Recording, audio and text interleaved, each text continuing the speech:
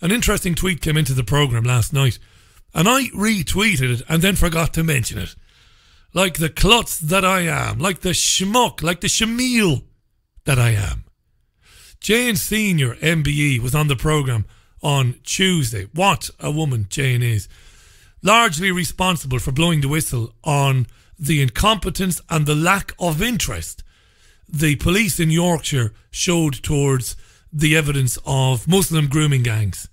Rotherham, amazing woman, blew the whistle, took a serious risk by sharing uh, classified information. I say classified, sensitive information, but the information was, uh, it was not to be released. It was, in fact, a, a criminal act, her sharing the information she did with the Times newspaper. Great lady, spoke to her about that on uh, Tuesday, but one of our listeners was listening to the conversation and was moved by Jayne and the work that Jayne does with Swinton Lock. Now, Jayne works at Swinton Lock, which is a community based charity to help meet the educational and social needs of people with disabilities and who are at social and economic disadvantages. Okay? It's a wonderful thing. And one of our listeners was listening the other night. She doesn't want to be named. Contacted Jayne and said, I'm donating the whole contents, all the contents of my shop to help Swinton Lock raise funds. So one of our listeners has got a business and basically said to Jayne, I'm going to give you all the contents of my shop to help raise funds for Jayne's very worthwhile organisation. That's just a lovely thing, eh? It's nice when you hear things like that. You know, it's um it's nice to know even in ways like that that your your program can make some tiny difference. So just by bringing Jayne on, that motivated somebody to do something like that. So I'm really proud of that listener who wants to remain anonymous. Fair enough, and uh, well done. I'm sure she's listening. Uh, means a lot to me, and it does mean a lot to our listeners as well. Marvelous generosity. Well done, you. Thank you. Right, let's um let's have a look then at some of the big stories. And do you know what we'll do before we get into the not so much heavy stuff tonight, but the heavier stuff? There was a couple of funny stories in the news today. The sort of things I would have covered in my days as a breakfast radio presenter. God be with the days. Excuse me, did you see this story today? An airplane full of tourists was forced to divert after passengers complained about somebody with foul smelling body odour. Apparently, some man was on a plane and he was so smelly, God love the man, that people around him actually fainted. Right? It was a Transavia Boeing 737.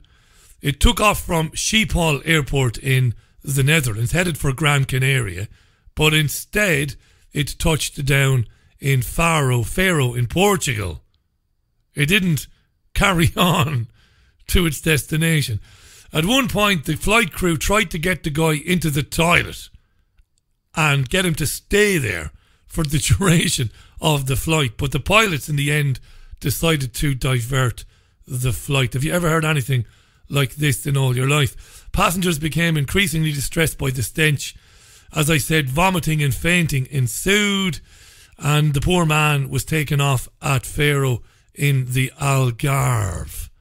Mad stuff. Belgian passenger Piet van Hout was on board, and he said the stench of the man was unbearable. It was like he hadn't washed himself for several weeks. Several passengers got sick and had to puke, said Piet van Hout, the Belgian passenger. Transavia confirmed the story, saying it was due to medical reasons. Maybe the man had a medical condition that caused him to give off the very unpleasant odour. Wow. There's a great punchline at the end of this story. It's in today's Daily Mail. And the punchline is it's not the first time something happened on a Transavia flight this year, something similar. Wait for it. Apparently, a Transavia plane flying from Dubai to Amsterdam was forced to make an emergency landing in Vienna after a passenger couldn't stop farting, which caused a brawl between several passengers. How does that happen? How does that happen? At 30,000 feet, somebody is breaking wind and it ends up causing a brawl between passengers that results in the pilot deciding to land the plane. Thank Christ there was no air marshal on board because you could have had the lunacy of somebody being shot to death on board a 737 because they were farting. Wow. But I can beat that because there's a story from back in 2011 which I covered when I was in Spain. The uh, rather rotund French actor Gerard Depardieu caused a plane which was going to Dublin to return back to the gate after he decided to just stand up and piss all over the aisle because he was refused entry to the toilets. You know, they're going through the thing, waving their hands. Follow these instructions in case we need to make an emergency. Depardieu said, I want to go to the toilet. They said, no, sit down till we're in the air. So he stood up and pissed all over the floor. ah, the world is a mad place, isn't it? Imagine being on that plane. We're not the most patient travellers these days. Imagine being on the plane today when a guy's got to be taken off because he's rather smelly. Gerard Depardieu. Whenever I think of Gerard Depardieu, I can't help but thinking of the English comedian Joe Pasquale, who came up with this fantastic little ditty. Gentlemen, you know, I was very disappointed to find out that Michael Bublé's not on the show. I was told Michael Bublé might be on, but they lied. He's not here. At all. Apparently he's at a wedding, big showbiz wedding in America. Apparently Whoopi Goldberg is now going to marry the French actor Gerard Depardieu, and now she's going to be called Whoopi Doopy Doo. boom, boom. Right, 12 minutes past the hour. Enough of the messing. Enough of the messing, as we would say in Ireland. Let's get to the serious stuff the president of Syria, Bashar al Assad, has given an in depth interview to Russia Today, which was broadcast in its entirety earlier. In fact, if you want to watch it later on, the entire interview can be found at RT.com or RT's YouTube channel. Now, it's the first in depth interview that Assad has given for quite a while because there's been a lot going on. The only in depth interviews he has given in the last year or so have been to RT. I think it's about two years now since he sat down with the BBC for a proper interview. So RT went to see him. He was first asked a good question How close does he think we are to the end of hostilities, the end of the so called war in Syria? This is what the Syrian president had to say. Uh, with every uh, move forward in the battlefield, with every victory, with every liber- liberated area, we are moving closer, closer to the end of the conflict. And I always said, uh, without external interference, it won't take more than a year to settle the situation in, in, in Syria. But at the same time, with every move forward for the Syrian army and for the political process and for the whole situation forward in the positive meaning towards the more stability, uh, our uh, enemies and our uh, opponents uh, mainly the West, led by the United States and their puppets in uh, Europe and in our region, with their mercenaries in Syria, they try to make it farther, uh, either by supporting more terrorism, bringing more terrorists coming to Syria, or by uh, hindering the political uh, process. So our challenge is how can we make this gap, to close this gap between their plans and our plans. And I think we are succeeding in that regard. But at the same time, uh, it's difficult for anyone to tell you uh, when. But it is getting closer. That's self evident. So the Americans and their puppets in Europe and the Israelis continue to support jihadists no matter how difficult it's getting now for them to achieve their aims because the Syrian government, of course, has achieved success in Aleppo, in Homs, in Damascus, and the surrounding areas. Nearly there, said Assad, but the Americans and their puppets continue to um, flog a dead horse by sending in more jihadists and more arms. So Assad was then reminded that tens of thousands of jihadists who have fled Damascus and Aleppo and Homs, surrounding areas, they're now building defences in Idlib. Could the president accept that Idlib might be out of government control for a time. This is what he said. Uh, actually, we always say we're going to liberate every area. So it's impossible for us to, to intentionally leave any area on the Syrian soil outside our control as government. This is uh, natural.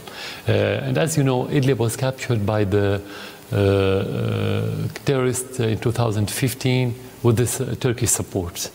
it, was, it was mainly captured by al-Nusra and some other supportive factions. We started the reconciliations before that time, but every reconciliation happened after that time, after 2015. Uh, it was, I think, May 2015. Every faction wanted to leave the city or the village. They choose to go to Idlib. Uh, this is very good indication that they have the same ideology because they choose to go to Al-Nusra area. They didn't choose to go to any other area. So we didn't send people to Idlib. They wanted to go to Idlib because they have the same uh, incubator, they have the same atmosphere, way of thinking, and so on. Uh, this one uh, part, the other part, which is military aspect of, the, of, of, your question, the plan of the terrorists and their masters was to uh, distract the Syrian army by uh, scattering the different units all over the Syrian uh, soil, which is not good for any army. Our plan was to put them in one area, two areas, three areas. If, if, let's say if you have two or three or four frontiers, better than having tens and maybe more than 100 frontiers at the same time. So militarily, it is better. They chose it, but it's better for us from the military point of view. Nice diplomatic way of put it, putting things there from the Syrian president. Nice diplomatic way of saying, let them all gather in Idlib or around Idlib we will blow the piss out of them there. Let them all congregate in one place rather than open up frontiers elsewhere, which makes it more difficult. Okay, fair enough. So, what about the US military presence in the country? It's one thing to be driving back these Wahhabists, these jihadists, Al Nusra, Al Qaeda, ISIS, whatever name they're giving them today, SDF or SDP, whatever they're calling them. What about the US military presence in the country? Well, he didn't pull any punches. We don't have any other option. So, this is our land, it's our right, and it's our duty to liberate it. And the Americans should leave somehow. They're going to leave. They came to Iraq with no legal basis, and look what happened to them. They have to learn the lesson. Iraq is no exception, and Syria is no exception. People will not accept foreigners in this region anymore. Fantastic stuff, really. He said, by hook or by crook, one way or another, the United States will leave our country. Good for him. What about Israel and the Israeli Prime Minister Benjamin Netanyahu's threats that Syria could be destroyed by Israel?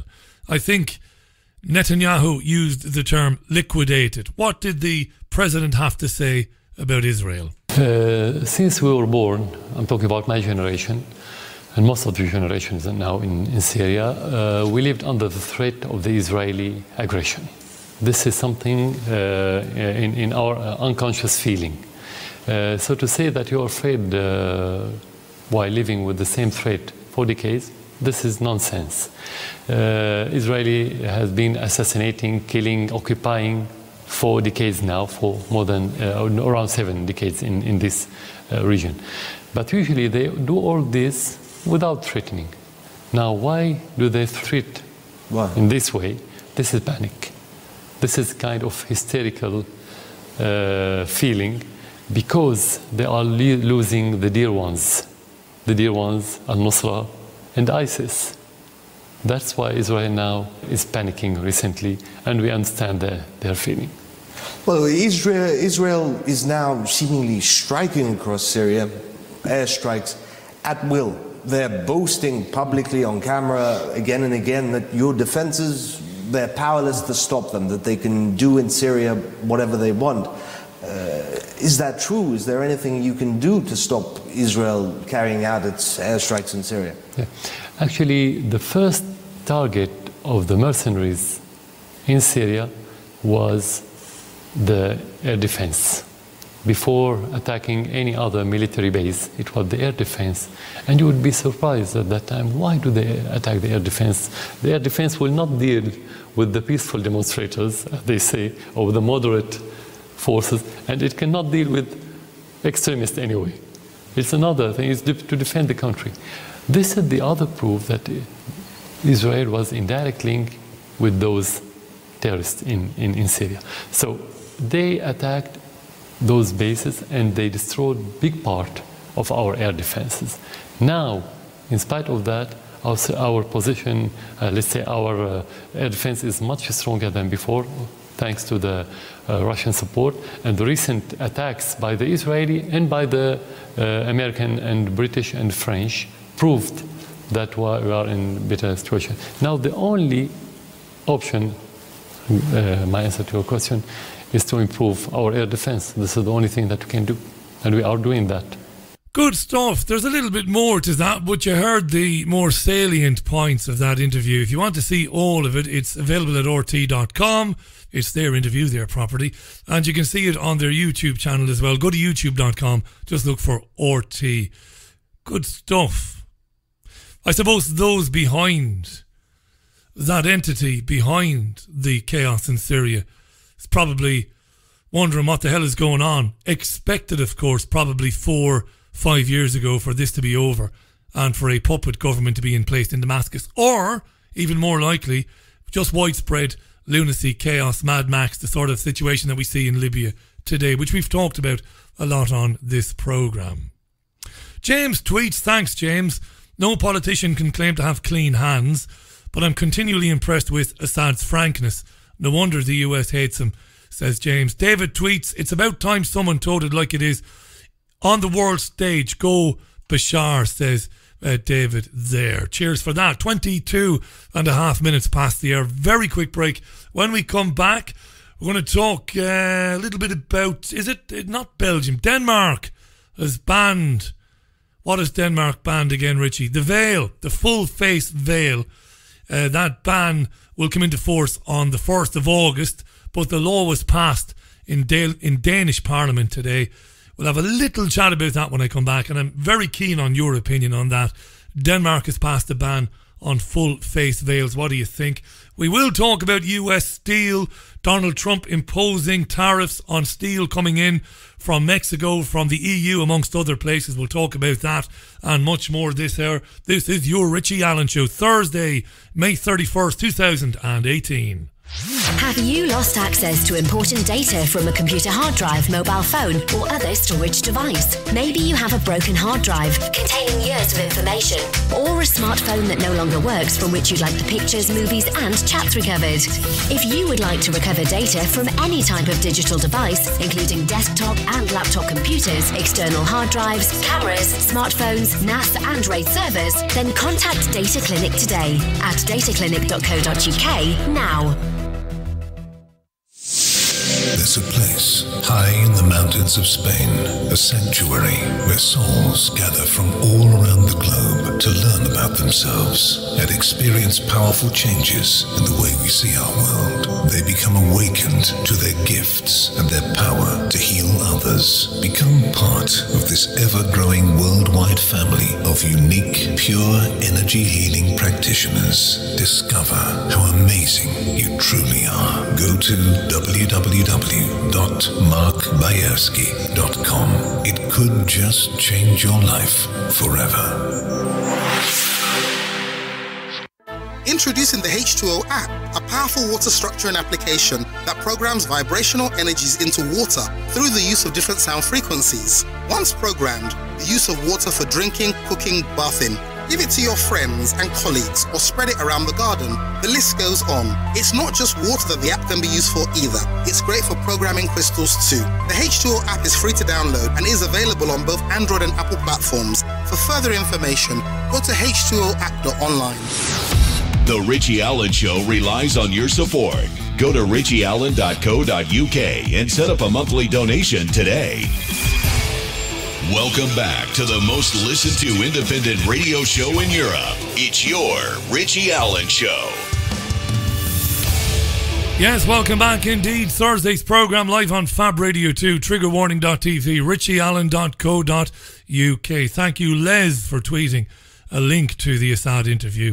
I'm sure people could have found it, Les, but thank you very much.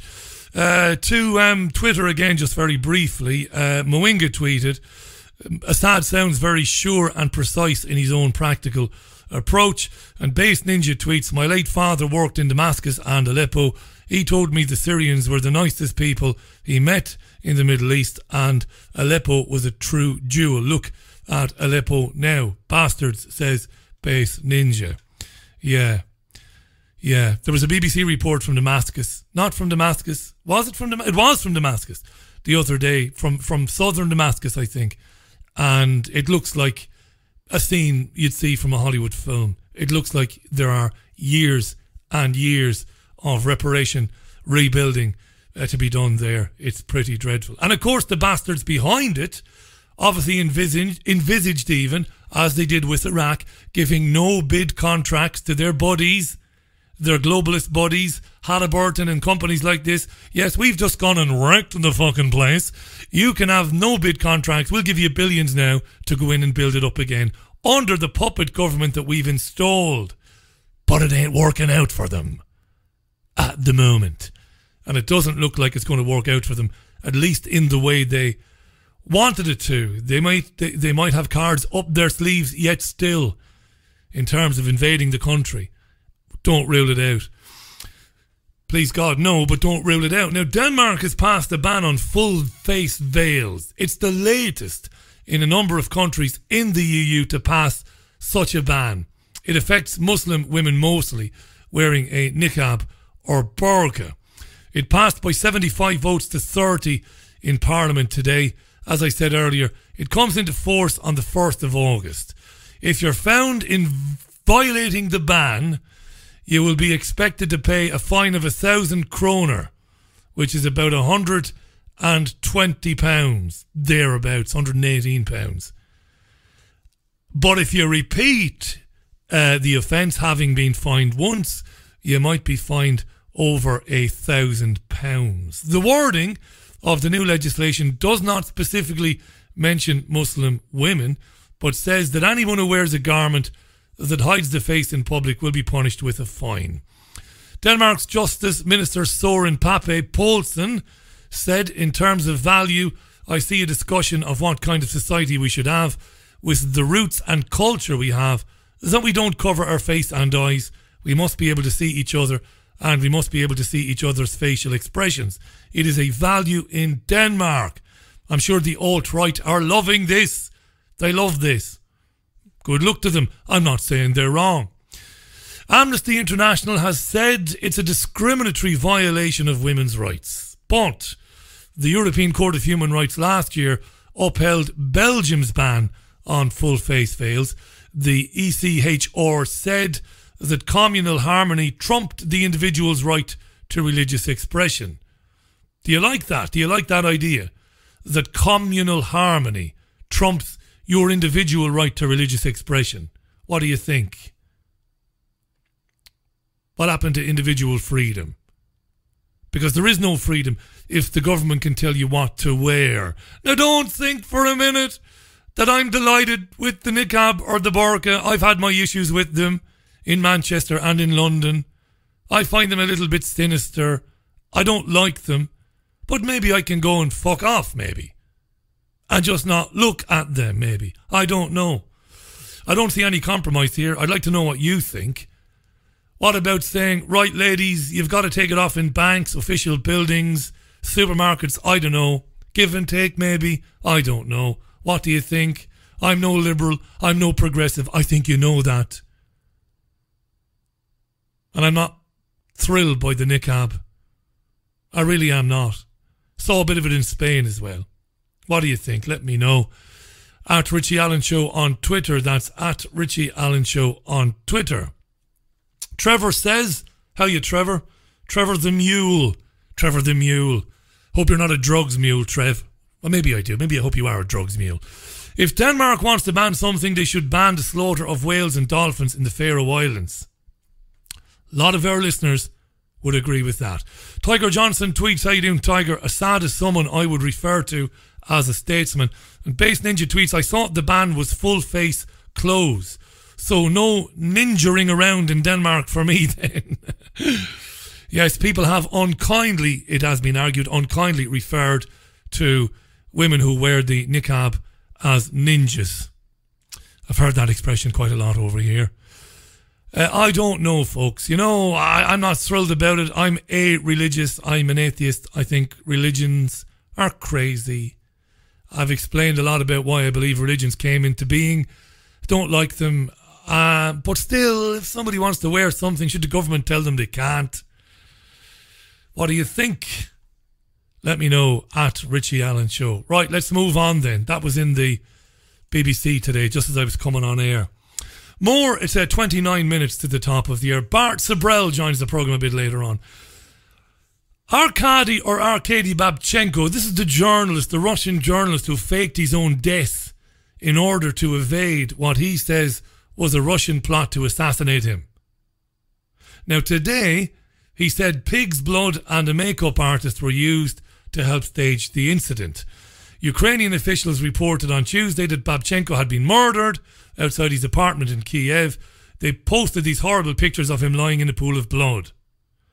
The media was very quick to say Russia was behind it. This is disgraceful, but it's what we expect. The broadsheet media and the broadcast media in this country rushed to say, oh, a Russian journalist is dead, the bastard Russians. And then yesterday he turned up at a press conference and he was in fine fettle, so he was, to be sure, to be sure. He was in fine fettle. Wow, what a story. So Babchenko, uh, he's taken a bit of stick over the deception from some journalists who are a bit red faced, a bit embarrassed because they believed it and rushed to blame the Russians. He said today, I went along with it because I was told my life was in danger. Now, John White is a political commentator and he spoke to RT today and he suggested a plausible motive for this fairly bizarre story. The timing is key, I think. Just uh, before we start the World Cup in Russia, which is a showcase event for any country that holds a World Cup, that hosts a World Cup, and suddenly we're getting these stories which is desi- which are designed, I would speculate, to discredit Russia uh, and discredit Russia in the eyes of the world, just as it's about to host the World Cup. And so this is a very lamentable campaign that's being um, targeting Russia because it's now interfering in areas in which all nations have in the past understood that they are off limits when it comes to using them for propaganda purposes, such as trying to use a World Cup to undermine the host nation. That does no good to anyone, especially at a time when we need to try and foment understanding. Yeah, I think he's onto something when he says it might be down to Russia hosting the World Cup, which is only a couple of weeks away. At least the opening ceremony is anyway. You might remember back in the late winter, I feared, and feared was the right word. I thought that at the last, uh, at the eleventh hour, that FIFA would take the World Cup away from Russia. I thought that was on the table. Of course, I was wrong because I'm mostly wrong when it comes to my predictions. I'm no Nostradamus. But I thought that was a real possibility. And if that didn't happen, I thought that some countries might pull out of it and have their own summer tournament in the UK because the UK's got the best stadia in the world and all ready to go. Honky dory, but it hasn't come to pass. But watch the World Cup closely. Watch it for possible false flag attacks. Keep an eye on the World Cup for false flag. I don't mean necessarily big terrorist incidents, but I wouldn't rule them out. But also, while it's on, and while Russia is on full display to the world, its lovely cities, its beautiful architecture, its lovely stadia, don't be surprised if something happens that Russia is blamed for. That's all I'm saying. So keep an eye on that. A uh, few more comments coming in about the burqa, the niqab. Um, David tweets, David Stanford, I don't see why religion should allow you to do things everyone else can't. But are they also going to ban the mercenaries who pose as cops during false flags wearing their full face balaclava? Good stuff, David. I, was at Manchester Airport again last Saturday to pick up uh, my partner. uh, Caroline, the oft mentioned. And I got there. I've learned to time my visits to the airport because I'm only a 15 minute drive away. So I've learned to time them so I'm not waiting around forever. So I waited until I was watching the radar thing on the flight uh, app, on the app. Not on the app, but on, on, on, on my laptop. And I saw the plane was coming into land. So I set off then, so I didn't have to wait there too long. But yeah, Manchester Airport is full of these stormtroopers, head to toe in Kevlar, body armour, faces covered, walking around like fucking retards in a so called free and open and fair society. These fools that look like Robocops walking around. See, David, what you started? You see what you started, David. Anyway, anyway, Moinga tweeted to counter what David said. I think the women would take them off respectfully when in public spaces like banks where you will interact with strangers. So that might be that might have been a compromise. Rather than say you can't wear the niqab anymore, um, why not say, look, when you're in buildings you can't wear it. How about that? Right? Right. Cartoon Drunk says, what about a bloke wearing a Borat mankini?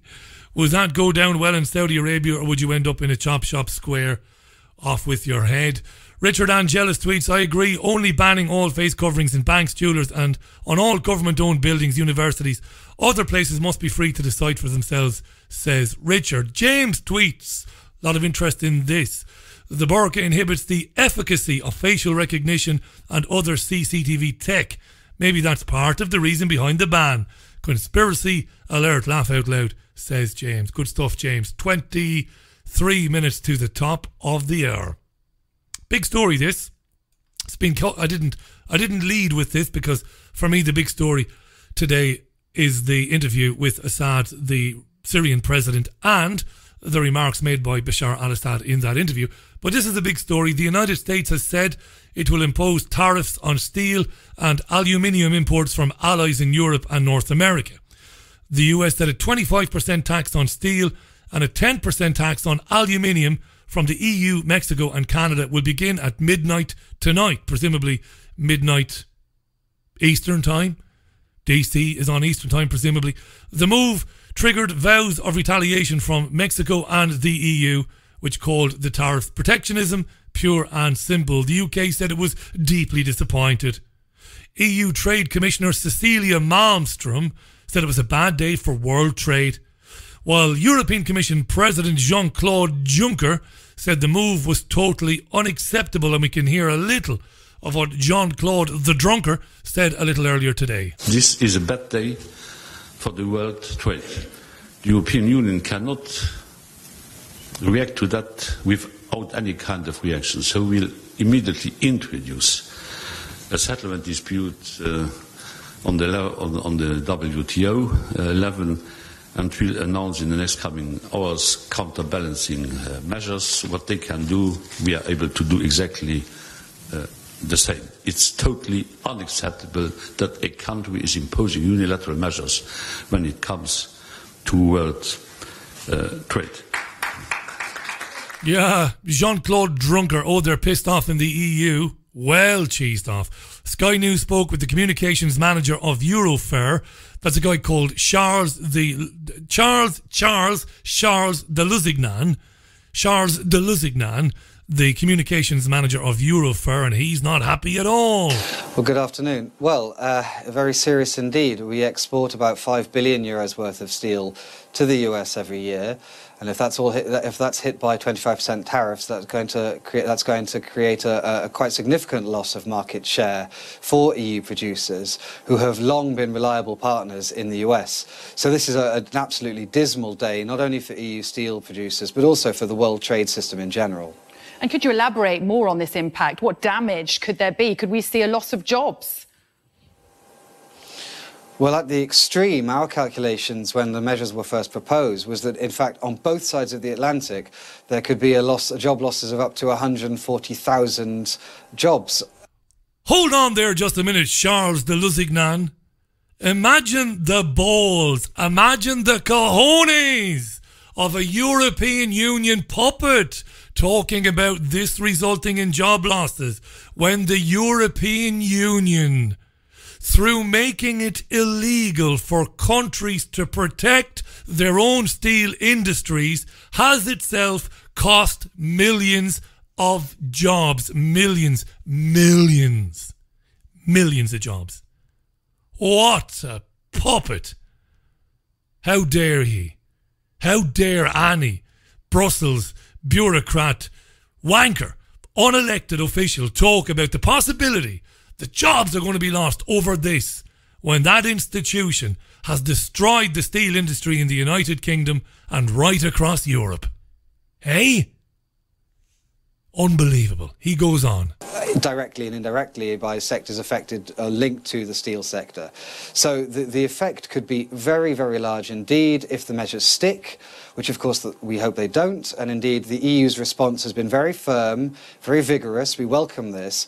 And the only way that these, these damaging tariffs are going to ever be dismantled is if the EU stands firm in responding to the US by saying, no, this doesn't go, this doesn't fly. You can't do this in the context of a free multilateral trading system. What difference will that make if Europe takes that stance? Can it, can it protect itself?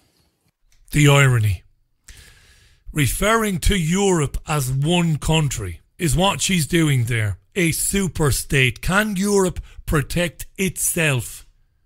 When, as I said, and I have to labour this point, steel companies right across the European Union in countries have been destroyed because of their rules and regulations on the importation of steel and their ridiculous so-called pro-competition laws that in, that mean that when companies want to um, take on full large-scale building projects in the UK, they can't just buy UK steel. They have to put the bid out to tender, out to the European Union. Right? What does he say? Elf. Well, I think Europe is evidence that it can protect itself, and bear in mind that it is the world's largest and richest open market that does take in a lot of US imports, as well as exporting to the US. So, no, the EU has a unique position here, and it can take the lead in, in being a guardian for world trade and, and supporting the multilateral system that the US ultimately helped build in the first place. You know, Donald Trump uh, will likely only be there for a couple of years, whereas the world trading system has been there since the end of the war. So it's important that it is maintained. And I think Europe, if it stands united and, and, and makes a commitment to, to, solid messaging on this and, re- and acting accordingly, uh, I think they could actually come out of this better than worse. If you were running a country, why would you allow tens of thousands of your citizens lose their jobs because companies were buying cheap steel either from Europe or from China? Why would you allow that? Why? Your duty, your job, your your responsibility is to the people of your country, is to protect your industries. These bastards have made protectionism a bad word, a dirty word. It's insane that you would import steel. It's the easiest thing in the world to manufacture. No country in the world should import it. You should have thousands of people in work doing it. Now, I don't know whether to believe Trump or not. Trump is a Rothschild Zionist puppet. I've no idea what's going on there. I wish it was true. Not just in America, but here as well. It's one of the great things about leaving the European Union, not that it's ever going to happen. No, no, no, no. We will subsidise certain industries. Because that's what government should do. Yes, steel is. It, there isn't anything more important to a country to keep a country going than steel. So as a government, will subsidise these, will partly nationalise these companies. Public private partnerships, keep people in work, will subsidise where necessary. And we will run our country and we will build our country using steel manufactured in this country. All the EU has done is wreck industry, whether it's fishing, whether it's steel, whether it's car manufacturing, destroyed it. Now these bastards are crying because the Americans have said, well, no, we're going to protect our steel and aluminium. How serious Trump is about that, I have no idea. But anyway, crazy. Les tweets, if the UK did the same as the US, then maybe we could make our own steel and create thousands of jobs. Yes, Les, but not create thousands, save thousands of jobs and re employ people who've lost their jobs.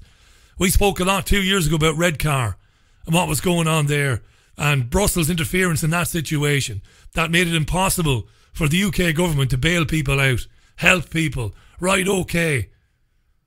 We're going to build 500,000 new houses for people who can't afford to rent.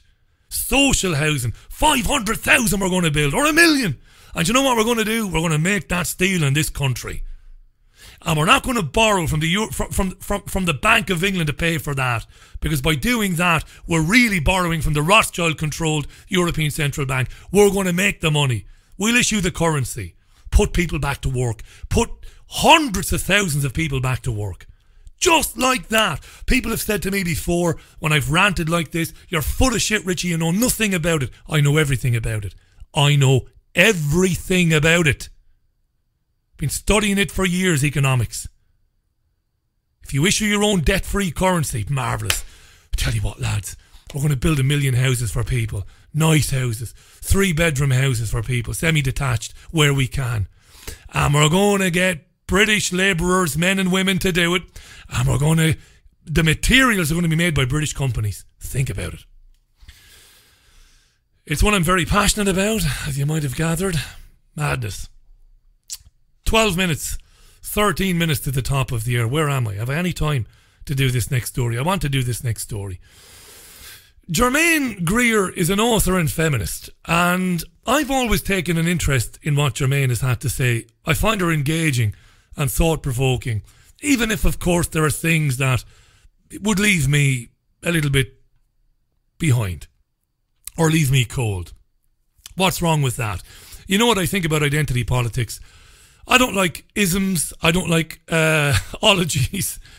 I don't like feminism. I don't like anything that has to do with identity politics. Feminism belongs in that category, but it doesn't matter. I like um, smart people, and Germaine Greer is a smart woman, whether she's right or whether she's wrong. She's getting it in the neck today, though, because she was addressing the um, the Hay Festival. It's a literary festival, and she was um, talking about rape. And she said that rape shouldn't be viewed as a spectacularly violent crime, but more as a lazy, careless, and insensitive act.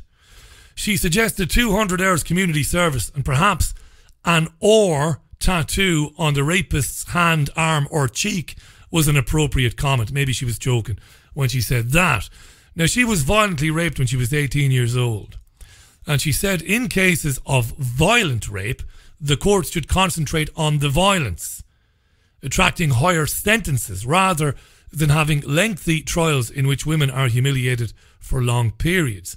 And at this Hay Literary Festival, she said rape was widespread and the legal system could not cope because it always comes down to consent, with the victims becoming bits of evidence. She said, I want to turn the discourse about rape upside down.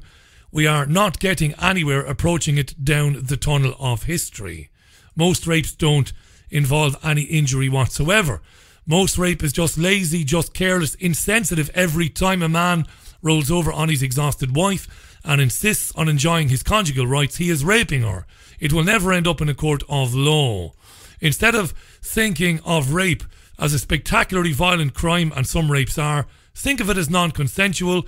It is bad sex, sex where there is no communication, no tenderness, no mention of love. She also went on to say, Germaine Greer, something which she has said a lot about the Me Too movement. She said she's tired of women being portrayed as victims and women seeking victimhood. Controversial comments these. Here's Sky News on it today. Now, the author Germaine Greer has caused controversy with her calls for rape sentences to be drastically cut. Speaking at the Hay Festival, she said the current system of prosecuting rape is not working. She suggested most rapists could be ordered to do community service with harsher sentences for obvious violence, although she argued that the majority of cases are non-violent. Instead of thinking of rape as a spectacularly violent crime, and some rapes are, think about it as consensual, non consensual, that is, bad sex. Most rape is just lazy, just careless, just insensitive. Every time Yeah, that was Sky News' rough cut. They rough cut it there. So controversial comments indeed, and I'm sure, I'm pretty sure there are people listening to this program who are sexually assaulted, and they might be wound up by those comments. Fair enough. So they invited an anti-harassment campaigner on. What does that mean? Anti-harassment campaigner. Uh, the woman's name is Kelsey Mohammed. Here's Kelsey Mohammed responding to what Germaine Greer said today. Uh, I mean, that interview itself was very hard to watch, to be honest. I found it uh, very upsetting, and I do want to acknowledge a lot of the survivors out there who may have found that interview very upsetting because I find that she definitely diminished and minimized the experiences of survivors. I think the uh, the analysis that she has, which is partly correct in terms of the criminal justice system not being set up to support survivors, and that the uh, it, it's not currently working to imprison perpetrators, and that is not ending rape. But the way that she has now minimized rape as if it's not serious, uh, I think speaks to her completely misunderstanding the problem, and really, it's uh, yeah, it's just not been it's not been what we want in terms of the narrative around sexual violence because what we really want to look at is the ways that we can support survivors as a community because we see that the criminal justice system is not doing that. But did she minimise rape, Germaine Greer, in what she said? Or was it that she didn't choose her words very carefully? Was Greer trying to say that rape is a terrible thing? Where somebody rapes somebody violently, they should be in prison. But when somebody maybe could have not consented, maybe could have, I don't know what to say here. This is a strange one. I kind of understand what Greer was trying to get at. But I can't articulate it any better than she was trying to. And she's, I think she's more articulate than me. Pretty sure she is. What was she trying to say there? Maybe she was saying that some women, I think she was trying to say that some women have complained after the fact when maybe they might have been able to extricate themselves from it, from that situation. Maybe it was non consensual sex in a relationship. Non violent. The guy didn't force himself on her. She didn't want it. Maybe said she didn't want it. Maybe she was badgered into it, went along with it anyway. Is that what she was talking about? I don't know because somebody grabbing somebody and forcing themselves on them, penetrating them, they should be fucking banged up forever, as far as I'm concerned. Um, but what was she trying to get at? Do you have any idea what she was trying to get at? I think it's kind of profound, but I think she was struggling to articulate it. Bearing in mind that this is the same woman who spoke out against the Me Too movement, saying she's tired of women claiming victimhood because they were asked out for a date or because their arse was pinched in a. You know, and, that, and that's wrong as well. I've never pinched anybody's arse that I worked with, male or female. Um, but she was saying, why don't you turn around and, you know, basically punch him in the fucking mouth and say, don't do it again. Don't be a victim.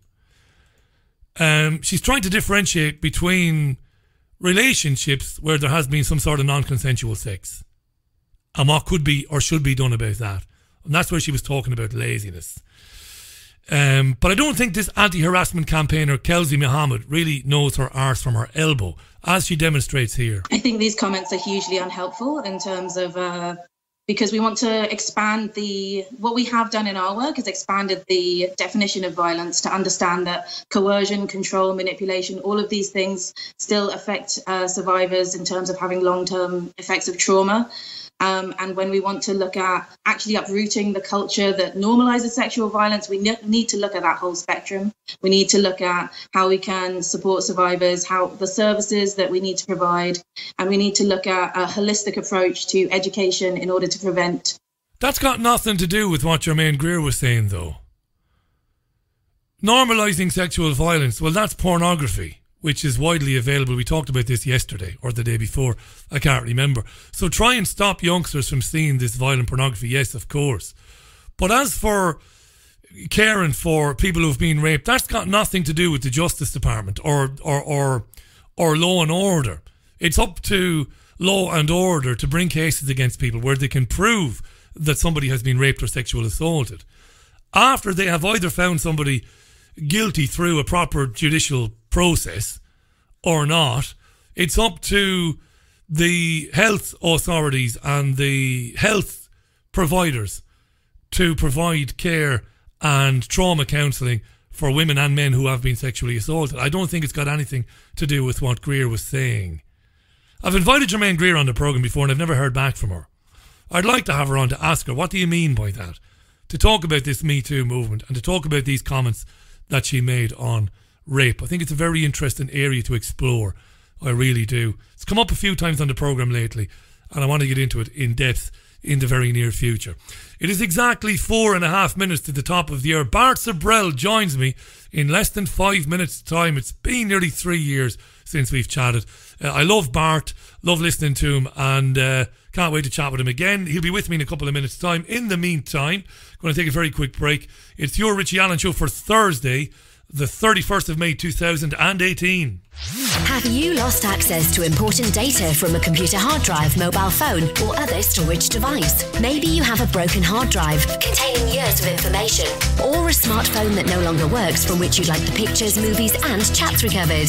If you would like to recover data from any type of digital device, including desktop and laptop computers, external hard drives, cameras, smartphones, NAS, and RAID servers, then contact Data Clinic today at dataclinic.co.uk now. There's a place high in the mountains of Spain, a sanctuary where souls gather from all around the globe to learn about themselves and experience powerful changes in the way we see our world. They become awakened to their gifts and their power to heal others. Become part of this ever growing worldwide family of unique, pure energy healing practitioners. Discover how amazing you truly are. Go to www www.markbayerski.com. It could just change your life forever. Introducing the H2O app, a powerful water structuring application that programs vibrational energies into water through the use of different sound frequencies. Once programmed, the use of water for drinking, cooking, bathing, Give it to your friends and colleagues or spread it around the garden. The list goes on. It's not just water that the app can be used for either. It's great for programming crystals too. The H2O app is free to download and is available on both Android and Apple platforms. For further information, go to h2oapp.online. Welcome back to the most listened to independent radio show in Europe. It's your Richie Allen Show. Welcome back indeed. Just a couple of comments I want to get through before we introduce Bart. Some interesting comments there. Uh, James, thanks for the comment. He says, I think, and, and I poorly said this, I, I said this very poorly, in fact. Ironically, I poorly said this. I said this poorly myself. Uh, James, you're bang on, I think. I think what she's driving at is the idea that if a husband asks his wife for sex 50 times in an hour and she eventually says yes, gives in, that's not the same as rape, perhaps Beyond that, I'm out. Articulation of this issue is a nightmare. That's good. Uh, I find that as well. Now, Susan says, I've never viewed Germaine Greer as intelligent. She's like some weirdly programmed helpmate of destruction of female identity, and nothing that falls from her mouth, mouth even, has ever benefited women ever. Susan, fair enough. You're entitled to that opinion, of course. I disagree with you. I've been listening to her and watching her and reading her for a long time, more than 20 years, and there would be things that she would say that I would laugh out loud at. But other times I find it very sharp and very on point. But I uh, take your point. Thanks for the tweet there. Liz says, should a woman be asked more than once if she says no? Liz, I would say no. Now, have I asked my partner for sex before and she said no? Yes. Have I asked her again? Probably yes. What was the result of that? Um, I live with a very strong woman and I was told basically to fuck off basically to go to a dark room by myself and sort myself out. That's the truth. Um, me asking for a second time would have been kind of, oh, come on. But that would have been the end of it, is the truth of it. You know, I'm not a perfect guy, but I wouldn't be, you know, insisting. You know, if you lived with somebody as long as I've lived with my partner, 16 years, that's a lot these days. But I'm sure there are people listening to this program that have been married for 25, 30, 40 years. When you've been married, when you've been together 16 years, there have been times when one or the other in a couple wants relations, relations, and the other person doesn't. And um, if you're aroused and the other person doesn't, it's frustrating. Right? Right, I would have said yes. Um, but yeah, you shouldn't insist. Of course, you should not insist. When the other person says no, you should say fair enough and go to a dark room with a nudie magazine or something else. Sort yourself out and then just get on with things. That's what I would say.